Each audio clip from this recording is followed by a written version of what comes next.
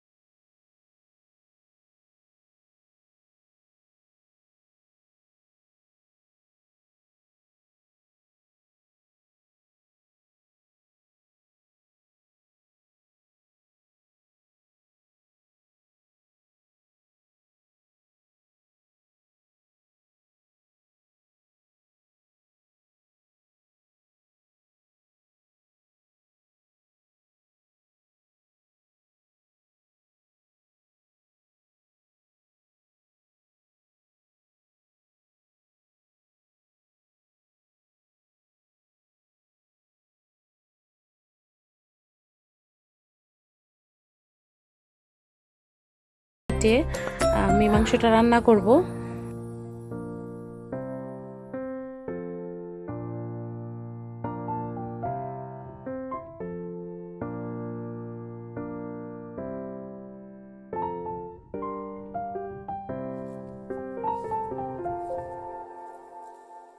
মাংসের মধ্যে দেখতে পাচ্ছেন যে এক্সট্রা পানি ছিল, সেটাও টেনে নিয়েছে, আর মাংসটা খুব ভালো করে কষা